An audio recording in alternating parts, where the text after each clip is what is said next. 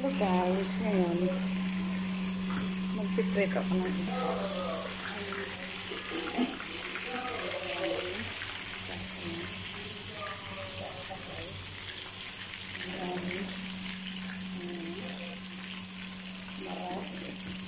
Ayun po guys, hindi pa nasinito. So, dami. Yun guys.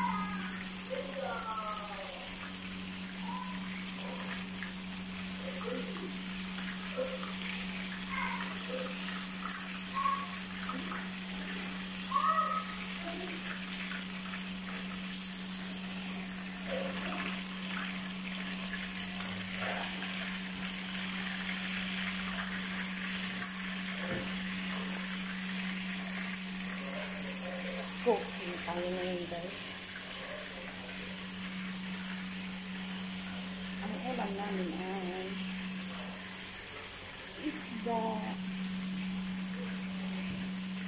Ayan guys. Antayin lang natin sa luto.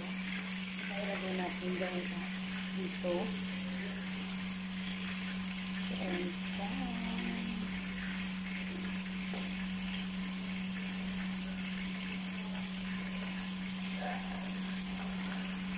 Ooh.